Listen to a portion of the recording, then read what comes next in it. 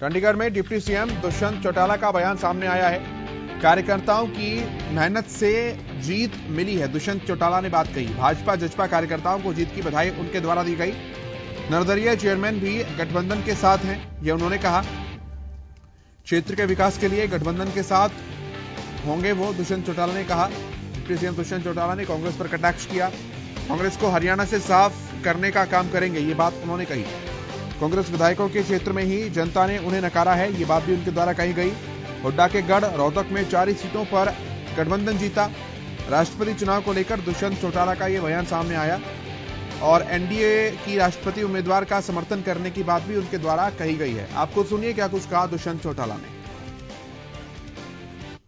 सभी कार्यकर्ताओं को दोनों संगठन के बधाई देता हूँ कि उनने पूरी मेहनत, लगन के साथ कार्य किया और आज उसका नतीजा है कि इतनी बड़ी मात्रा में गठबंधन के उम्मीदवार चुनाव जीते और खुशी की बात है कि और ऐसे साथी भी जो चुनाव जीते हैं, उनने भी फिर ये फैसला लिया है कि वो गठबंधन के साथ मिलकर सरकार को और मज़बूत कर कर निकायों में रहेंगे और हमारे साथ अभी चर्चा हुई है विधायकों से और यही निर्णय लिया है कि एनडीए के तौर पर सबसे पहले हम प्रपोजर के तौर पर द्रौपदी मुर्मू जी जिनको एनडीए का संयुक्त उम्मीदवार बना है उनका समर्थन करेंगे। और आज उसी लिए हम सब जेजेपी के विधायक इकट्ठे हुए थे और आगे भी जो प्रोसेस होगा उसके अंदर एनडीए पूरा गया है?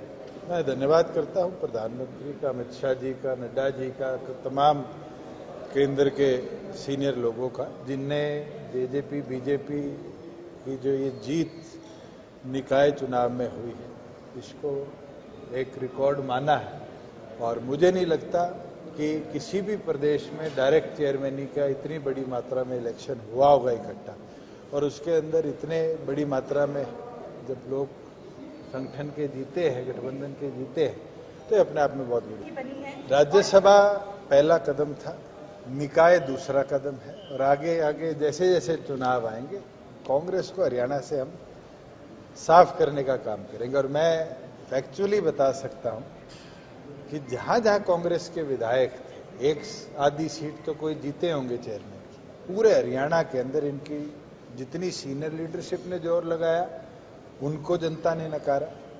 जितना इनके विधायकों ने ज़ोर लगाया, उनको कांग्रेस के तौर पर जनता ने नकारा और रिज़ल्ट गठबंधन के पक्ष में दिया।